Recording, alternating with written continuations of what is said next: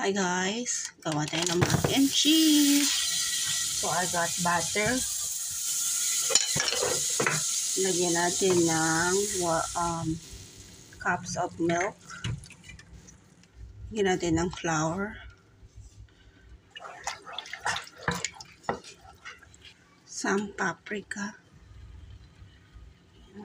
Okay, then let's add our cheese. Different kind of cheese. You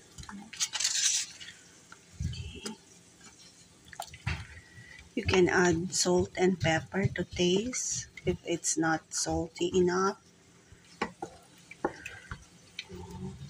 Melt this.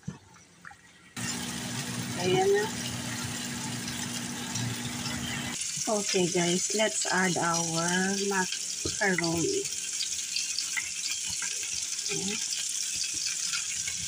Diba?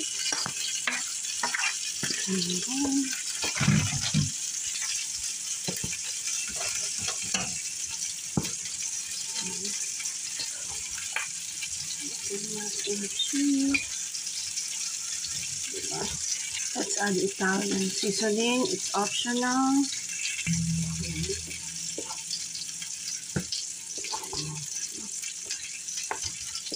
So, got your homemade mac and cheese. Add on top.